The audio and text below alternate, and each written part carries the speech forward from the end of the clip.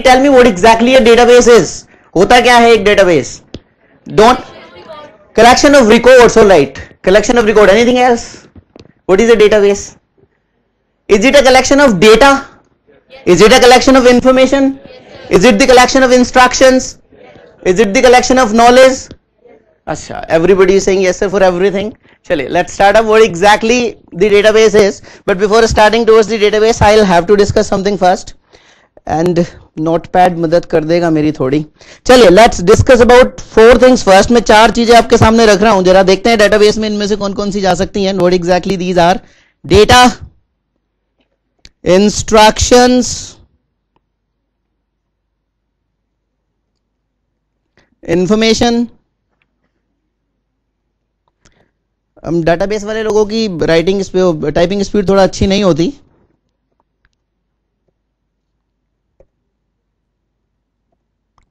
There are four things that I have written here data instructions information and knowledge what exactly the data is एक data होता क्या है क्या है data की definition कोई बता पाएगा what exactly the data is fact and figure data is nothing but is the raw fact and figure that is not been processed yet जिसको अभी तक process नहीं किया गया है एक example लेता हूँ मैं छोटा सा what's your name sir Gaurav I'm taking an example that we have one student Gaurav and Gaurav got 70 marks in English I'm taking the simple example Gaurav got 70 marks in English this is the detail that is being given to me as it is uh, and I have not processed it yet मैंने इसके ऊपर कोई processing नहीं करी अभी तक fact क्या है गौरव के इंग्लिश में मार्क्स आना फैक्ट है फिगर क्या है 70 this is the data because this detail is been given to me as it is and I have not processed it yet मैंने इसके ऊपर अभी तक कोई प्रोसेसिंग नहीं करी है. This is the data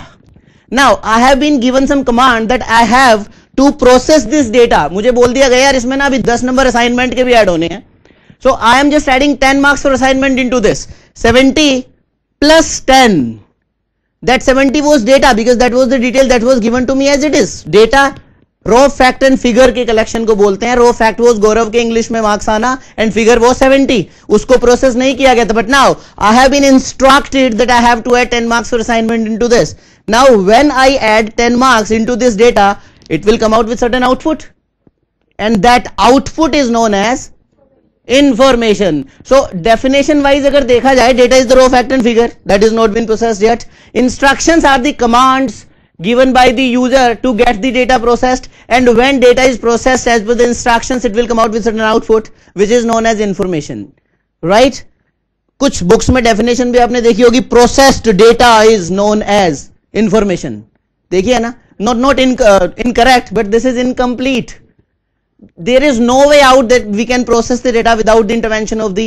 instruction. बिना instruction के किसी भी डेटा को प्रोसेस किया ही नहीं जा सकता। So, अगर मुझे डेटा को प्रोसेस करना है तो मुझे इंस्ट्रक्शन चाहिए। एक एग्जांपल मैं आपके सामने फिर से अगर एक टेबल मेरे पास बनी हुई है मेरे पास है बंदों के नाम उनकी सैलरी मुझे किसी ने बोला भाई इनको इस बार ना दो दो हज़ार रुपए बोनस देना है। तो सबकी सैलरी में टू थाउज़ेंड रुपए एड करना है। नेम मेरे पास है सैलरी मेरे पास है टू थाउज़ेंड रुपीज़ एड करना। दिस इज़ द इंस्ट्रक्शन अब इस सैलरी पे टू थाउज़ेंड रुपीज़ एड करने के बाद मेरे पास एक आउटपुट आएगी। दैट आउटपुट इज़ इंफॉर्मेशन सारी चीज़ें तो हो गई एक। कलेक्शन डेटा का इंस्ट्रक्शन का इंफॉर्मेशन का, इन तीनों चीज़ों की कलेक्शन को डेटाबेस के अंदर रखा जा सकता है। अब हम रखते क्या है डेटाबेस में? वो एक अलग फैक्टर है। अगर पहले से ही पता था कि सबको दो हज़ार रुपए का ही बोनस देना है तो दो हज़ार रुपए टेबल के अंदर इंसर्ट करके रखने की ज़रूरत क्या है? दो हज़ार रुपए तो कभी भी ऐड कर लेंगे। लेकिन अगर हर बंदे का बोनस अलग अलग कैलकुलेट होना था, जो उसकी ज्वाइनिंग टाइम पे डिसाइड कर लिया गया था तो ये भी डाटाबेस में स्टोर करके रखना पड़ेगा। चौथे से और मिलने एक बार नॉलेज नॉलेज क्या होती है? नॉलेज हिस्टोरिकल इंफॉर्मेशन को नॉलेज बोला जाता है। वो इंफॉर्मेशन जो समय के साथ चेंज नहीं होती, जो समय के साथ चेंज नहीं होती, वो इंफॉर्मेशन हिस्टोरिकल इंफॉर्मेशन आप मुझे बताएँगे ताजमहल किसने बनवाया? शाहजहां ने ताजमहल अच्छा ये क्वेश्चन अगर दस साल पहले किसी ने किसी से पूछा होगा तो जवाब कुछ और होगा? दस साल बाद कोई पूछेगा तो जवाब कुछ और होगा? तो मतलब this particular information is not getting change as per the time this is what we call this historical information ये हिस्टोरिकल इन्फॉर्मेशन कहलाती है knowledge we call knowledge to this historical information data instruction and information को store करने के लिए the collection of data instruction and information can be there into database database data instruction and information का collection हो सकता है database is not the collection of data only it is not the collection of instruction only it is not the collection of information only it can be the collection of data instruction instructions, and information. But knowledge cannot be kept into the database. Knowledge database का part कभी नहीं होती knowledge के लिए जिस technology को use करा जाता है data warehouse exactly knowledge data warehouse का पार्ट होती है, नॉलेज को रखा जाता है डेटा वेयर हाउस के अंदर। डेटाबेस के अंदर बिल्कुल नहीं। Data warehouse W H Inmon था, उन भाई साहब का नाम जिन्होंने डाटा वेयर हाउस बनाया था, इंडिया में पहला 1995 में बना था कोका कोला इंडिया वाली जो ब्रांच है, उन्होंने अपना पहला डाटा वेयर हाउस निकाला था 1995 में। उससे पहले इंडिया में डाटा वेयर हाउस जैसी कोई चीज़ नहीं होती थी। उन्होंने कॉन्सेप्ट दिया था कि अगर 500 जीबी से ज़्यादा डेटा आपके पास ऐसा होगा जो करंटली यूज़ में नहीं है, बर्बाद भी नहीं है कि डिलीट कर दिया जाए, कभी काम में आ भी सकता है। साइज़ भी बहुत घेर रहा है डेटाबेस में तो ऐसे डेटा को डेटाबेस में रखे डेटाबेस की परफॉर्मेंस को डाउन मत करो। Move it into some different location which is called as data warehouse आप सब लोग हर एक सेमेस्टर में अपने प्रोजेक्ट अपने असाइनमेंट जमा करते होंगे। कॉलेज या यूनिवर्सिटी उनको संभाल के रखती भी होगी कब तक? एक टाइम तो ज़रूर होता है हर एक इंफॉर्मेशन को रिटेन करके रखने का। कुछ लंबे टाइम तक के लिए रिटेन करके रखी जाती है, कुछ छोटे टाइम तक के लिए। जैसे आप अभी कॉलेज के स्टूडेंट हैं दो साल बाद, तीन साल बाद आप पास आउट होकर यहाँ से चले जाएँगे, उसके बाद भी यूनिवर्सिटी के पास आपका पूरा डेटाबेस रहेगा। अगर वो डेटाबेस आप, अब आप कॉलेज में नहीं आते तो फ़ी भी नहीं देते। डेटाबेस जो फाइनेंस वाला है, वो भी चेंज नहीं हो रहा है। अटेंडेंस का डेटाबेस भी चेंज नहीं हो रहा है। अब आप एग्ज़ाम नहीं देते तो एग्ज़ाम का डेटाबेस भी चेंज नहीं हो रहा है। ये सारा का सारा डेटा फिर भी यूनिवर्सिटी के पास अवेलेबल है। आपकी सारी डिटेल यूनिवर्सिटी के पास अवेलेबल रहेगी। आपके पास आउट होने के बाद भी, क्योंकि जब भी आप कहीं पे अप्लाई करेंगे किसी भी कंपनी के अंदर वेरिफिकेशन के लिए कॉल आएगी यूनिवर्सिटी को वेरीफाई करके देना पड़ेगा। तो उस डाटा को, इतने बड़े डाटा को अगर करंट स्टूडेंट के डाटा के साथ ही रखा जाए तो डाटा की परफॉर्मेंस क्या होगी, आप अंदाज़ा लगा सकते हैं। तो इसलिए उस डेटा को जो करंटली यूज़ में नहीं आ रहा है, जो अभी काम का डेटाबेस नहीं है, लेकिन जिसको एक्सेस करने की ज़रूरत पड़ेगी, अभी नहीं, लेकिन बेकार नहीं उसको डिलीट किया जाए, उस डाटा को उठा के डाल दिया जाता है डेटा वेयर हाउस के अंदर। तो डाटाबेस के अंदर तीन चीज़ें हो सकती है again these three things can be there into database मैं ये बिल्कुल नहीं कह रहा हूँ कि इन तीन चीज़ों के बिना डाटाबेस नहीं बनता। डाटा में एक चीज़ तो ज़रूर होती है डेटा डेटाबेस के अंदर डेटा तो ज़रूर होगा। इंस्ट्रक्शन इंफॉर्मेशन ज़रूरी नहीं है कि हम डेटाबेस के अंदर स्टोर करके रखें। दराज वेज की हम इंस्ट्रक्शन या इंफॉर्मेशन को भी स्टोर करके रख सकते हैं डेटाबेस के अंदर, पर ज़रूरी थोड़ा ही नहीं उसको भी स्टोर करके रखें। चलिए, अब जरा डाटाबेस में थोड़ा सा प्रैक्टिकल चीज़ों पे आज कुछ मुझे जो बताया गया है कि कुछ स्टूडेंट वो हैं जिन्होंने डाटाबेस के बारे में बहुत ज़्यादा नहीं पता, इसलिए हल्का सा मैंने एक डाटाबेस के बारे में थोड़ा सा एग्जांपल ले लिया। और एक कुछ ऐसे भी हैं जिनको थोड़ा बहुत डाटाबेस आता है। मतलब मेरे ख्याल से फोर्थ सेमेस्टर वाले जो स्टूडेंट्स होंगे अभी यहाँ पे, उन्होंने आरडीबीएमएस थोड़ा सा पढ़ा हुआ है। ठीक है ना? चलिए, अब जरा थोड़ा सा टेक्निकल पार्ट पे आ जाते हैं डाटा की तो मैंने सिर्फ़ आपको एक इन्फॉर्मेशन हल्की सी दी है। ओरेकल के बारे में ही बात करेंगे। There are other RDBMS tools also जिन पे पूरे डाटा को मैनेज करके चला जा सकता है, डाटा इंस्ट्रक्शंस इंफॉर्मेशन को मैनेज करके चला जा सकता है। लेकिन एक छोटी सी बात बस ये कि डेटा को अगर मैनेज करके चलना है तो किस तरीके से, किस फॉर्मेट में डाटा को एक्सेस करके रखा जाएगा? यूज़र्स कैसे डाटा को एक्सेस करते हैं? कंपनी का एनवायरमेंट कैसे होता है, जैसे डाटा को एक्सेस किया जाता है? और टेक्निकल फैक्ट्स क्या क्या होते हैं, एक डाटा को क्रिएट करने के? आप जरा उनके ऊपर थोड़ा सा डिस्कशन वो चीज़ें ले लें। चलिए, मैं ओरेकल सॉफ्टवेयर पे मूव करूँगा अब। ओरेकल टूल है ओरेकल 11G डाटाबेस एडमिनिस्ट्रेटर वाले ट्रैक को डिस्कस कर रहे हैं आज हम यहाँ पे। सो so, ओरेकल एक सॉफ्टवेयर है छोटा सा। उतना छोटा भी नहीं है थोड़ा ठीक ठाक लेवल का सॉफ्टवेयर है। तो जरा इस सॉफ्टवेयर के ऊपर काम कैसे करना है? मैं उस मशीन पे हूँ जिस मशीन पे ओरेकल डेटाबेस इंस्टॉल है और कम से कम एक डेटाबेस बना हुआ है। एटलीस्ट एक डेटाबेस बना हुआ मशीन जिसके ऊपर ओरेकल का सॉफ्टवेयर इंस्टॉल है और एक डेटाबेस बना हुआ है। It is known as Oracle server उस मशीन को सर्वर बोला जाएगा जिस पर ओरेकल इंस्टॉलर कम से कम एक डेटाबेस बना हुआ है। मैं कमांड प्रॉम्प्ट पे पहुँच जाता हूँ। कमांड प्रॉम्प्ट कोई भी command prop CO double M N D command या सीएमडी लेके आप ओपन कर सकते हैं। वही ब्लैक ब्लैक से है हमारे पास एक ब्लू कलर का डब्बा खाली पड़ा था पेंट का पुताई कर दी। ऊपर से प्रॉपर्टीज़ में जाके आप कलर चेंज कर सकते हैं डेफिनेटली ये सीधा सा वही आपकी जो कमांड प्रॉम्प्ट होती है शुरू से ही जावा के प्रोग्राम भी जिसके ऊपर आप आउटपुट देखते हैं। जाएँगे S Q L plus SQL plus dot exe this is the executable file to run Oracle Oracle को स्टार्ट करने के लिए एग्जीक्यूटेबल फ़ाइल होती है। हालाँकि इतनी चीज़ें मेरे ख्याल से आपने सब में से करके देख रखी होगी। जब भी किसी भी मशीन पे ओरेकल इंस्टॉल किया जाता है तो ओरेकल को पता था कि पहले ही दिन स्टूडेंट्स को, पहले ही दिन कैंडिडेट को डेटाबेस बनाना डाटाबेस में यूज़र बनाना डाटाबेस में टेबल बनाना नहीं सिखा दिया जाएगा। इसलिए कुछ चीज़ें हमें विरासत में मिली है। इंस्टॉल करते के साथ ही कुछ चीज़ें हमें मिल जाती है। लॉगिन करने के लिए एक यूज़र क्या नाम होता है उस यूज़र का? स्कोट अच्छा जानते Scott password Oracle nine I तक ओरेकल में जो स्कोट यूज़र था, उसका डिफ़ॉल्ट पासवर्ड टाइगर होता था। टेन जी और इलेवन जी में ऐसा नहीं है। और equal ten G eleven G version आप इंस्टॉल करेंगे तो इन दोनों के दोनों वर्जन में ही आपको स्कोट का पासवर्ड सेट करना पड़ेगा। वो बात अलग है फिर से ही टाइगर डाल देते हैं। अब मैं पासवर्ड डाल रहा हूँ। मैंने पासवर्ड डाल दिया। ना तो आपको star star star star print होता हुआ दिखा। ना कर्सर मूव होता हुआ दिखा। Security start from itself. User ID आपके सामने डाली गई है, पासवर्ड मैंने आपके सामने डाला है, लेकिन आप ये नहीं गैस कर सकते कि पासवर्ड कितने कैरेक्टर्स का डाला गया है। इस इंटरफेस की ये सिक्योरिटी है। और एक्ल पे काम करने के लिए हमारे पास और इंटरफेस भी होते हैं। पुट्टी टोड इंफोमेटिका कॉग्नोस ये टूल्स हैं डाटाबेस पे काम करने के लिए। एक डाटाबेस एडमिनिस्ट्रेटर हमेशा कमांड प्रोम पे काम करता है, उसके दो बेनिफिट हमें मिलते हैं। पहला कमांड प्रोम पे अगर कोई भी एक्शन कोई भी ऑपरेशन आप परफॉर्म करते हो तो उसकी कुकीज मेंटेन नहीं होती। उसकी कोई टेम्परेरी फ़ाइल नहीं बनेगी। जो इंटरफेस है थर्ड पार्टी सॉफ्टवेयर हैं, उस पर कुकीज टेम्परेरी फ़ाइल मेंटेन होती है। दूसरा परफॉर्मेंस इसमें बैकग्राउंड में कोई प्रोग्रामिंग जैसी चीज़ एग्जीक्यूट नहीं हो रही है। तो परफॉर्मेंस आपकी बहुत अच्छी रहती है, मैं एंटर कर देता हूँ। लॉग इन हो चुके हैं SQL structured query language SQL की फुल फॉर्म होती है it will let me go to the SQL prompt इसने बता दिया, आप Oracle database 11G enterprise edition पे काम कर रहे हैं एसक्यूएल प्रॉम्प्ट पे आप किसने करी थी एसक्यूएल की इन्वेंशन एसक्यूएल किसने इंट्रोड्यूस किया था?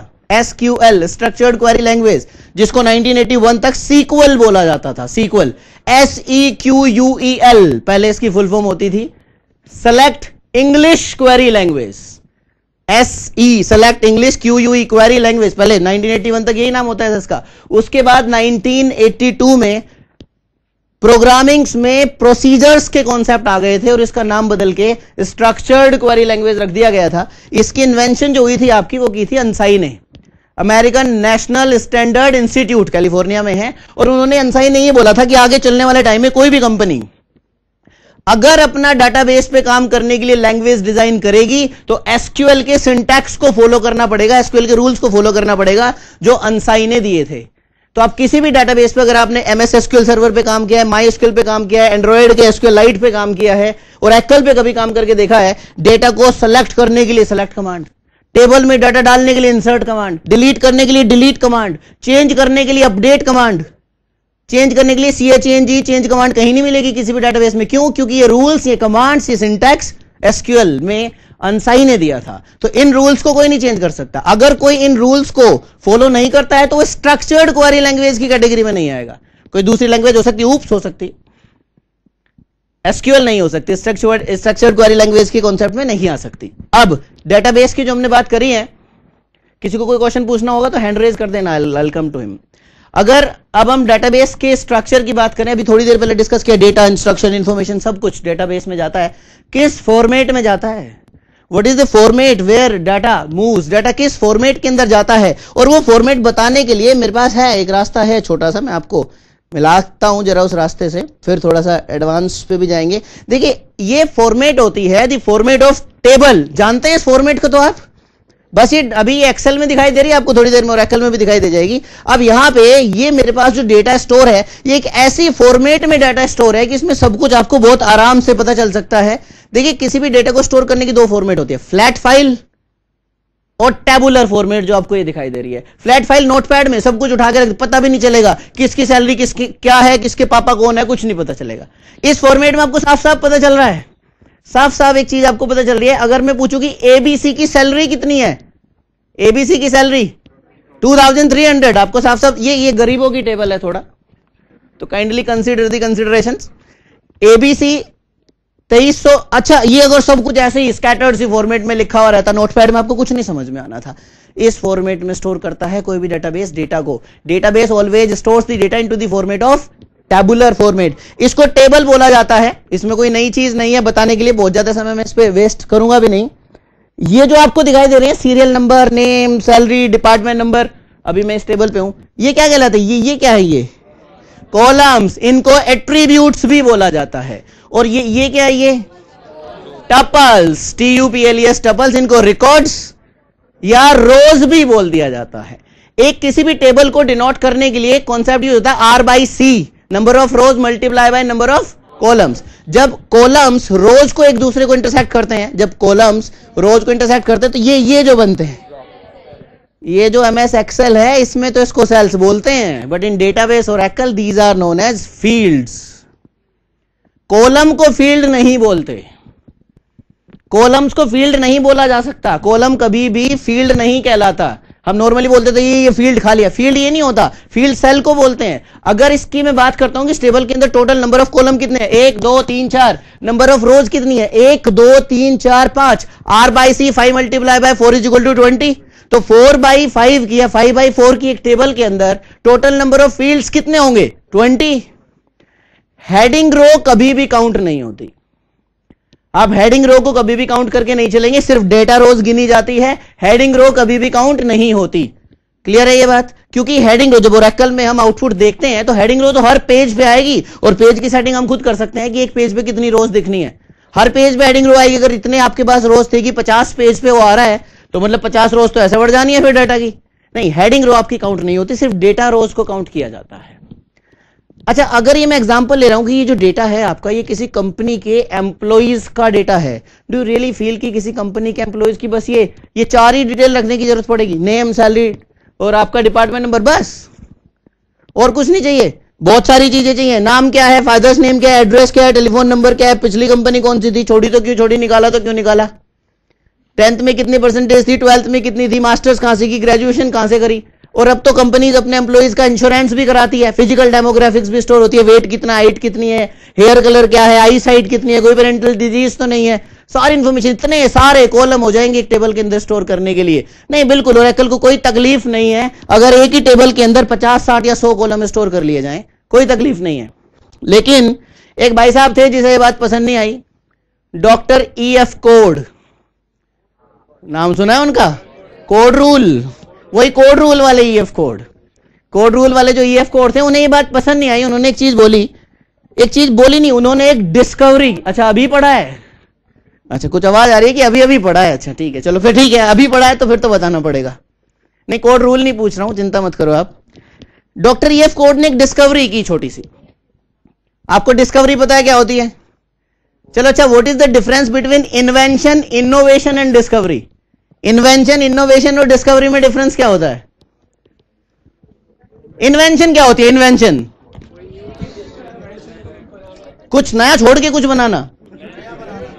कुछ नया बनाना creating something new that is not into the existence earlier Graham Bell ने माइक्रोफोन थॉमस एल्वा एडिसन ने बल्ब की इन्वेंशन की थी। इनोवेशन या डिस्कवरी नहीं की थी। ये थी इन्वेंशन क्योंकि ये चीज़ें इन्होंने बनाई थी, ये चीज़ें पहले से एग्जिस्ट ही नहीं करती थी। ये सारी चीज़ें उन्होंने क्रिएट करी है।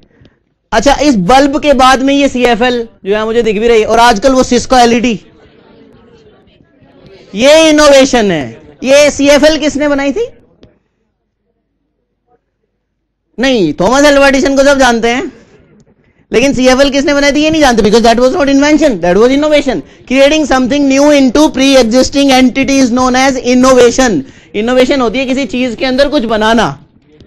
गूगल पे ढूंढेंगे, कहीं ना कहीं से मिल ही जाएगा कि सीएफएल किसने बनाई थी। लेकिन इन्वेंटर का नाम पता होता है डिस्कवरर का नाम पता होता है यूजुअली इनोवेटर का नाम नहीं पता होता। ये फैक्ट है इंडियन सोसाइटी का तो कम से कम फैक्ट है। डिस्कवरी की डिस्कवरी क्या होती है डिस्कवरी पुरा, पुरानी चीज़ को ढूंढना।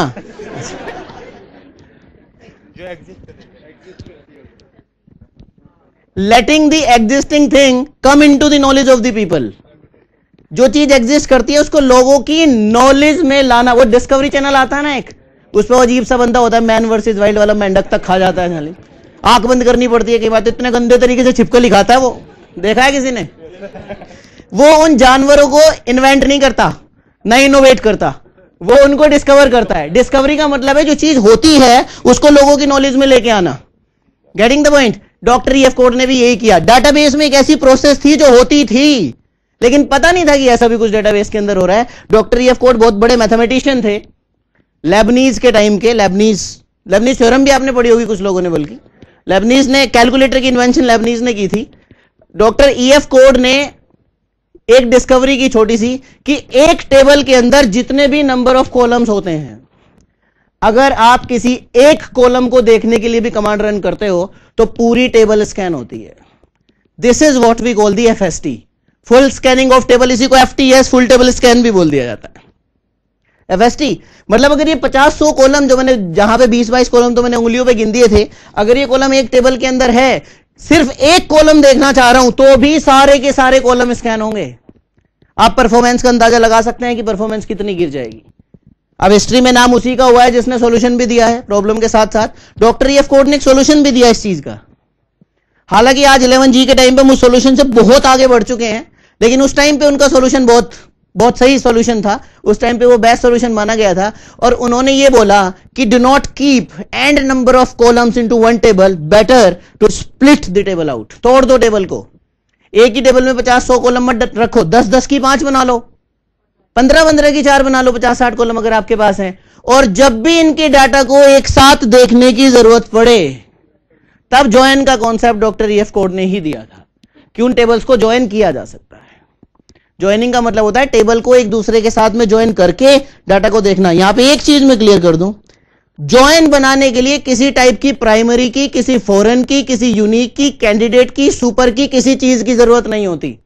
ये ज्वाइन का कॉन्सेप्ट नहीं है। ये बहुत तगड़ा कंफ्यूजन रहता है स्टूडेंट्स में कि ज्वाइन करना है तो प्राइमरी की तो है नहीं ज्वाइन कैसे करेंगे? प्राइमरी की की ज़रूरत नहीं होती ज्वाइन करने के लिए। ज्वाइन करने के लिए बस एक रिक्वायरमेंट है। टेबल्स के अंदर किसी एक कॉलम का डेटा कॉमन होना चाहिए। सेम होना चाहिए नहीं। सेम होना चाहिए फिट नॉन टेक्निकल वर्ड हो जाएगा। आज सारी बात टेक्निकली करेंगे।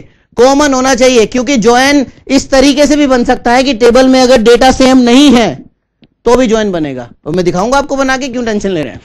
ज्वाइन बनेगा। सेम नहीं है कॉमन होना चाहिए। अब यहाँ पे अगर बात करें, देखो यहीं पे अगर मैं एक एग्जांपल छोटा सा ले लेता हूँ, एक टेबल ये रही मेरे पास, एक टेबल ये भी पड़ी हुई है। क्या ये दोनों टेबल आपस में ज्वाइन हो सकती है? दो टेबल जो आपको दिख रही है, ऊपर इनके नाम नहीं रखे मैंने। ये मैंने अभी गाड़ी में बैठ के बना ली थी जल्दी जल्दी में थोड़ा टाइम बच जाएगा यहाँ टेबल बनाने का, क्योंकि समय कम ही मिला है मुझे आज बोलने के लिए। ये रही दोनों टेबल। अच्छा इसमें अगर मैं आपसे पूछूँ, बहुत ध्यान से बताना पड़ेगा आपने। डीबीसी एक बंदा है डीबीसी डीबीसी उसके पापा का नाम क्या है? गलत बताया तो बाहर जाके बहुत मारेगा ये। जेड अच्छा। कोई वाई कह रहा है, कोई जेड कह रहा है, भाई। डीबीसी जिस बंदे का नाम है, ध्यान से देखें, जिस बंदे का नाम डीबीसी है, उसका सीरियल नंबर है फोर और जिसका सीरियल नंबर फोर है, उसका फादर नेम है वाई निकाल लिया आपने जो ये एक ही टेबल में रखने की क्या ज़रूरत थी? तो नॉर्मल सी बात है, छोटी सी। आपका नाम क्या है, भाई साहब? नीरज। नीरज, आप मुझे एक बात बताओ, जो बीबीसी है बीबीसी बीबीसी की सैलरी कितनी है? तीन हज़ार चार सौ। आपको बीबीसी की सैलरी ढूँढने के लिए दूसरी टेबल में जाना पड़ा? यही चाहते थे डॉक्टर ईएफ कोड। अगर ये रिकॉर्ड एक ही टेबल से मिल रही है तो दूसरी टेबल के अंदर जो तीन चार कॉलम या दस पंद्रह कॉलम पड़े हैं, वो तो स्कैन हुए ही नहीं। एफएसटी से दूसरी टेबल पूरी की पूरी बच गई। हमने पूरी टेबल को एफएसटी होने से बचा लिया। यही था इनका डॉक्टर ईएफ कोड का ज्वाइन बनाने का मेन कॉन्सेप्ट इसी वजह से इन्होंने ज्वाइन बनाया था। अब एक चीज़ और छोटी सी, देखिए, अगर दो टेबल, तीन टेबल, दस टेबल को आपस में अगर आपने ज्वाइन करना होता है तो ज़रूरी नहीं है कि सारी टेबल में कोई एक ही कॉलम कॉमन हो। ये कोई ज़रूरी नहीं है। ठीक है, अब यहाँ मेरे पास ये तीन लोग बैठे हैं। मैं एक छोटा सा एग्ज़ाम्पल और लेता हूँ। आपका नाम क्या है भाई साहब? नरेंद्र। अंकित। गौरव। नरेंद्र को ये बिना मोदी वाले नरेंद्र हैं। वैसे भी कल से तुम्हें फ्री वाईफाई मिलने वाली है। नरेंद्र को केवल मलयालम बोलनी आती और कुछ नहीं आता। बस ना, मलयालम बोलते हैं ये। आपने क्या नाम बता, अंकित। अंकित को केवल तेलुगु बोलनी आती और कुछ नहीं आता। गौरव गौरव को केवल पंजाबी बोलनी आती और कुछ नहीं आता। मुझे सिर्फ़ हिंदी बोलनी आती और कुछ नहीं आता। Can we communicate with each other yes yes वाला कौन है भाई? अच्छा आप हाँ बताए मैम, कैसे कैसे? इंटरप्रेटर आपने ज़बरदस्ती में जोड़ दिया बीच में। अच्छा मैम को ऐसा लग रहा था एक्चुअली कि तीन, यहाँ चार लोग बैठे थे, मैं तीन को तो यूज़ कर लिया। अब कोई इंटरप्रेटर तो चाहिए था कम से कम। चलिए, अब एक एग्ज़ाम्पल यहीं पे वापस घूम के आ जाते हम आपस में एक दूसरे के साथ कम्युनिकेट नहीं कर सकते, क्योंकि हम आरडीबीएमएस नहीं है डीबीएमएस हैं। डीबीएमएस और आरडीबीएमएस का डिफरेंस क्लियर हो रहा है आपको?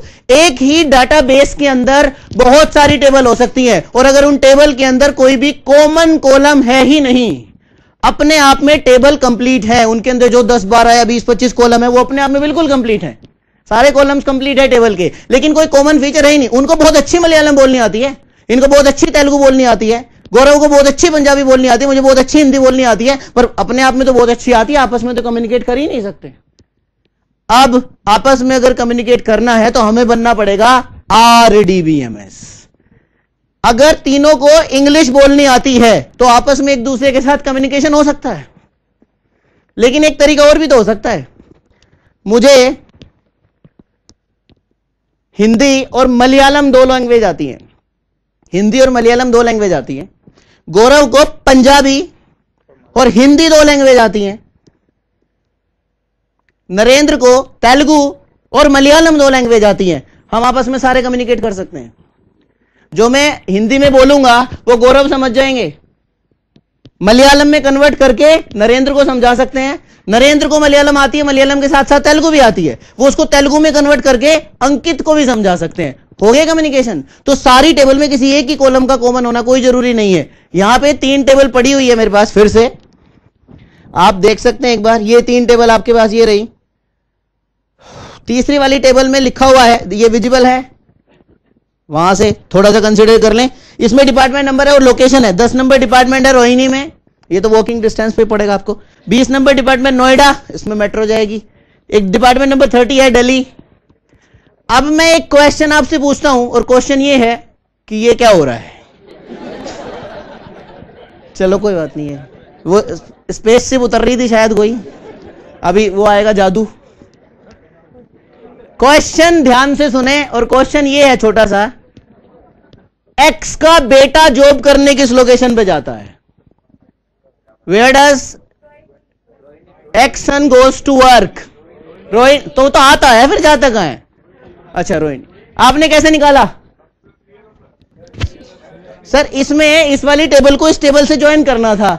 जो इसमें कॉलम है, वो तो आपको यहाँ पे नज़र आ ही नहीं रहे हैं। फिर भी आपने ज्वाइन बना दिया। अगर आप बना सकते हो तो फिर और भी बना सकता है। अगर आपने ऐसे ज्वाइन बना दिया तो फिर क्वारी से और एकल भी बना सकता है। आपने फाइंड आउट कर लिया जिसका फादर नेम एक्स है उसका सीरियल नंबर है वन जिसका सीरियल नंबर वन है। He works in department number ten and department number work department number ten is at Rohini आपने डिटेल निकाल दी तो सारी टेबल्स में किसी एक कॉलम का कॉमन होना ज़रूरी नहीं था। अगर दो कॉलम्स आपस में तीस, तीसरी टेबल के साथ मिलकर रिलेशन से ज्वाइन बना सकते हैं तो ज्वाइन बनेगा। इसमें कोई प्रॉब्लम बिल्कुल, इस तरीके से भी आपको ज्वाइन क्रिएट हो सकता है। Definitely we can create the join like this अब जरा ओरेकल पे आ जाते हैं। यहाँ पे तो मैंने बनी बनाई टेबल में आपको कुछ बस बताना था टेबल किस तरीके से होती है। आप में जो कुछ लोग हैं जिन्होंने ओरेकल में कभी टेबल बनाई है। मैं क्वेश्चन नहीं पूछूँगा। आज तो आपकी बारी, आप क्वेश्चन पूछो जो पूछने हैं।